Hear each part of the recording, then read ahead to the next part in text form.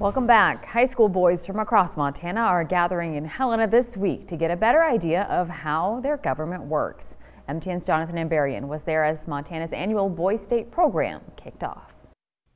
Almost 100 high schoolers are spending the week at Carroll College, getting a first-hand look at state and local government in Montana.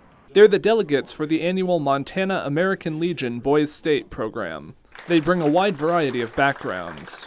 It's definitely great to see kids from Missoula, big schools, Billings, big schools, interact with kids from smaller schools.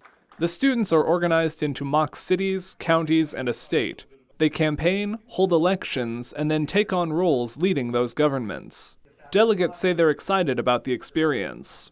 I think uh, what I'm looking forward to is just meeting a bunch of new people and having a new experience. Just I've never really been in a situation like this with all just kids from around the state. And then also just kind of learning the functionality of government uh, and a little bit more how the intricate details of it work out.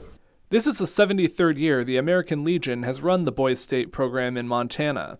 Many former delegates have gone on to become prominent political or business leaders in the state, and some of those men will return to speak to this year's class. It's definitely a program that gets into somebody's bones. Um, it gets into somebody's soul.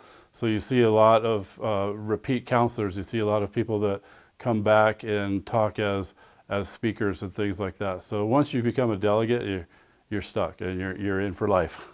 Leaders hope this program can not only teach students about government, but also build connections. By the end of the week, what we like to see them do is to kind of come together as a group um, and talk about different political ideas, different civic ideas, and then come out of it um, with definitely more tools than they had when they came in. In Helena, Jonathan Ambarian, MTN News.